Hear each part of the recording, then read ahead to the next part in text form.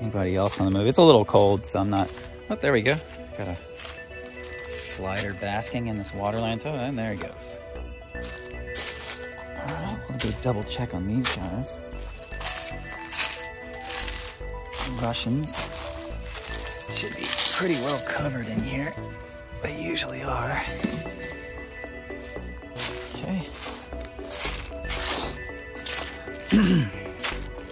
it's like kind of sad to see some of my plants kind of basically melting from uh, the cold. They just kind of wither up and give up. Aquascape Pond looks good for, for winter.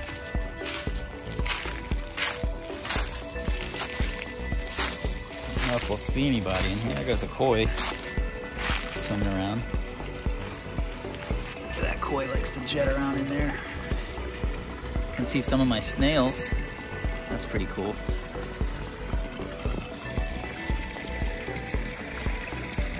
There's the koi. Let's see if we can get it. There you go. Look at that guy. and then if you look, you can actually see some snails on the rocks right there. I like having those guys. Those guys help eat some of the algae. So they'll leave like a little clean spot where they've been.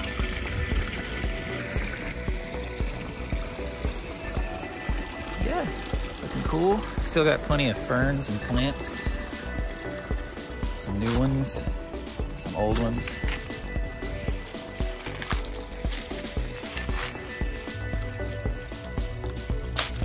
Ooh, I wanted to show you guys something. How cool this is. Look at that. That is the eastern painted turtle.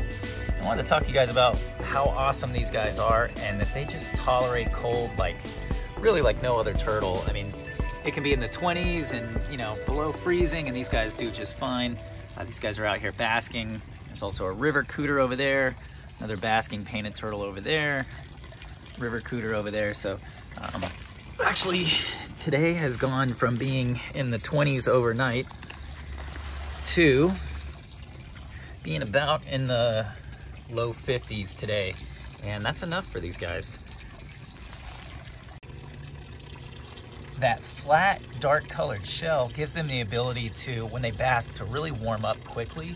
Um, and that, that heat's able to penetrate that. And uh, then they're able to kind of get warmed up and, and do what they're doing today, which is like moving around and uh, just kind of being active in general. Now, they're not really going to be feeding on anything this time of year, but you know, they'll get out, they'll bask, they might reorient themselves for the next time it gets cold and find a new spot. Uh, but otherwise, doing pretty good. And over here you can see, know, this river cooter is moving itself into some sun, but still kind of partially inactive. And that's pretty normal as well to see, you know, cooters and some of the other aquatics will do this. They're kind of still under, but they're still conscious enough to try and put themselves in the sun.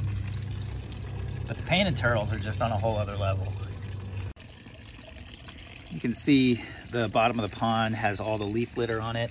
And you know, you'll see that the painted turtles and some of the cooters are coming out from under the leaves. Meanwhile, there's still plenty of other turtles under here like soft shells and map turtles, uh, mud and musk turtles. Um, but you know, some are also, like in the case of this river cooter, some are actually up basking. Being able to sit here in the direct sun, this turtle's actually able to you know, regulate its temperature pretty well. And if you were to touch like the surface of the shell, it's actually pretty warm. It's actually a lot warmer than you would think it would be.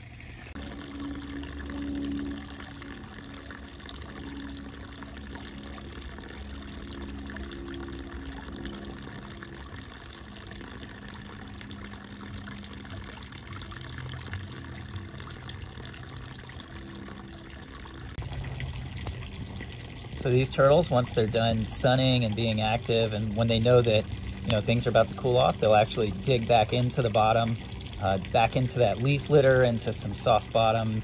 Uh, could also be sand or mud or muck, and they'll just stay under there through the night and wait for the next sunny day, or they can wait several days and then come out when you know the temperatures are optimal for them to come back out. And then once things start getting a little bit more regular, like in the spring, they'll all eventually come back out, start basking, and around April or May, they'll actually start feeding a lot. Um, and some places further south, like where I am, that can also begin, you know, as early as March.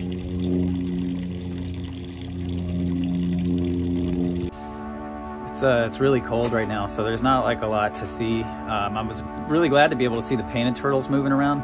Um, this is classic painted turtle weather, cold but sunny, um, and this is really one of the best times to see them. So if you have a wetland near your house and you're in painted turtle range, um, if it's a day like today, go out and look and see if you see some. Uh, they're always worth uh, going out and looking for. So thank you guys so much for watching this video. Like, comment, subscribe. Catch you guys next time. Check out my Patreon. Peace out.